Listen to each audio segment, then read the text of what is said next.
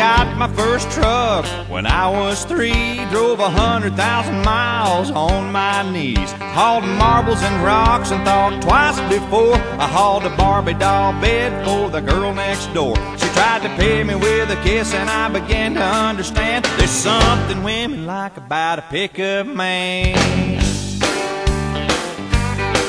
When I turned 16, I saved a few hundred bucks.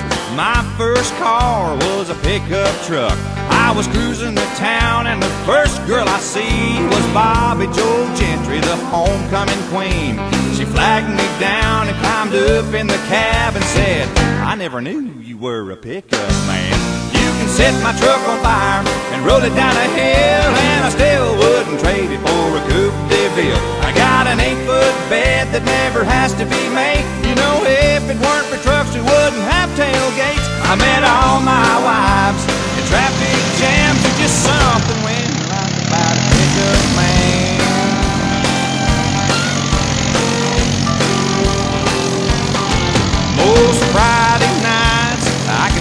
found in the bed of my truck on an old Chase Lounge. Backed into my spot at the drive-in show. You know a cargo light gives off a romantic glow.